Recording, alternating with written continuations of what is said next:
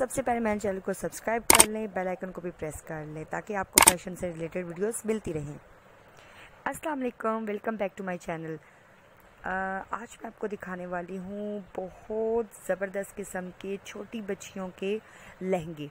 ये लहंगे जो दिखा रही हूँ मैं आपको, ये डिज़ाइनिंग आप छोटी बच्चियों को भी कर सकते हैं और टीन एजर जो बच्चियाँ हैं, या चौदह, पंद्रह, तेरह साल की, इस, ये सारी आप डिज़ाइनिंग उनके साथ भी कर सकते हैं। और अगर आप इस तरह के बड़े लहंगे भी बनाना चाहते हैं तो वो भी बना सकते हैं। बहुत खूबसूरत लहंगों की वैरायटी मैं लेकर आई हूँ। अब आपको थोड़ा सा आइडिया हो जाएगा किस तरह के लहंगे आपने बनाने हैं। अच्छा बहुत ही ज़्यादा वैरायटी है। अक्सर लहंगों पे आप देखेंगे कि नॉर्मल सी जो चुनट पड़ी होती है बेल्ट के साथ वो है।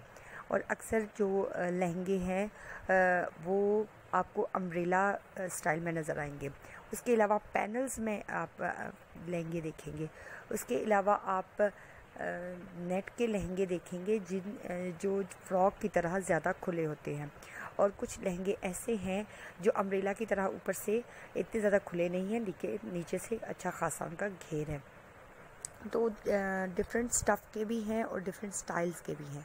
आप अपने हिसाब से जिस तरह का आप डिज़ाइन करवाना चाहते हैं, आप करवा सकते हैं। उसके अलावा आप प्लेट्स भी डाल सकते हैं लहंगों पे। और प्लेट्स के साथ साथ आप एक जो गुम प्लेट्स होती हैं, वो भी डाल सकते हैं और बॉक्स प्लेट्स भी डाल सकते हैं। तो जिस तरह आपको अच्छा लगता है, आप बना सकते हैं। अगर तो आपने ख़ुद लहंगा डिज़ाइन करना है तो फिर आप उसको ज़्यादा डिटेल के साथ अच्छे से, आराम से आप उसको स्टिच करवा सकते हैं। कर सकती हैं सॉरी लेकिन अगर आपने किसी से स्टिच करवाना है तो फिर आपने आपको सोचना पड़ेगा किस तरह का आप, या उससे पूछना पड़ेगा कि वो किस तरह का बना सकती है। अच्छा लहंगों के अलावा उसके साथ में आपको जो ऊपर उसकी शर्ट होती है या चोली कह सकते हैं, वो उसका भी डिज़ाइन दिखा रही हूँ, वो भी डिफरेंट है। अब ऐसा नहीं है कि आपने एक शर्ट बना ली। अगर आप लहंगे के साथ पेपलम भी बना सकते हैं, उसके अलावा आप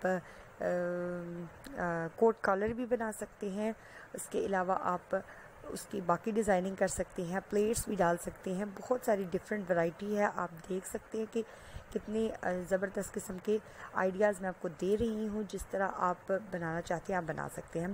उसके अलावा, किस तरह आप लहंगे को खूबसूरत डेकोरेट कर सकते हैं। अच्छा ये पेपलम आप देखिए, कितनी खूबसूरत इस पर प्लेट्स पड़ी हुई हैं।